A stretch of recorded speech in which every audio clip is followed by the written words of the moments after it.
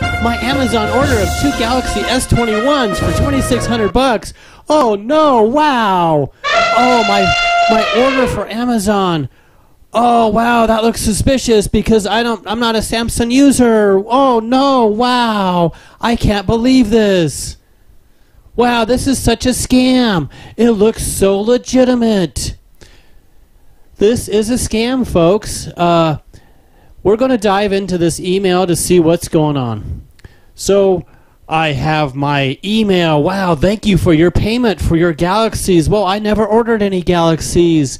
Wow, because I don't I didn't buy any because I'm not going to waste my money on a $2600 of phones. But anyways, this is a scam. Let's go and dive in. We're going to open up this in raw editor.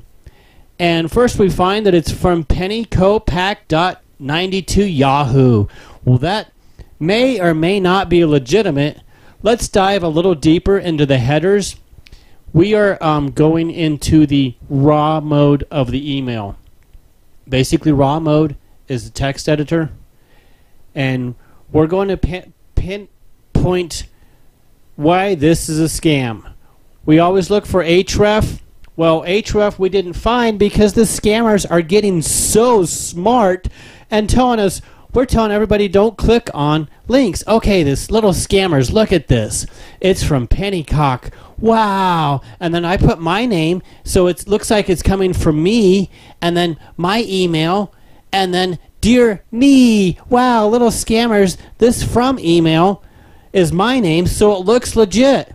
Wow. Wow, it looks really legitimate. Wow, for my order because I didn't order anything.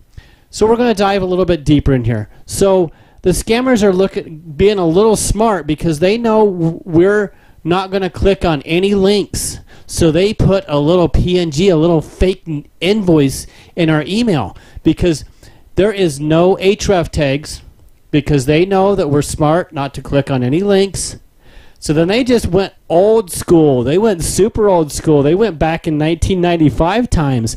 And look at this. They've got this neat little GIF, or it's a PNG file. And then they says eh, to report fraud, dial this number. Wow, I'm going to do that today. One eight six six two four six. Wow, I love it. Hot dog. And I need to call that one one eight hundred number one eight six six. Wow. No, I'm not going to call that number because that's a fraud.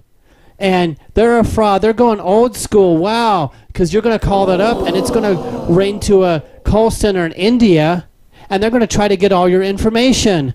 Wow. Man, they're so smart. Wow, I love it. Wow, they're so silly little rabbit. Oh, they're so smart. Obviously, delete this kind of email. But we're dived into it to see what exactly it has. And obviously, check with Amazon, go to your account, go to bookmark, check this out.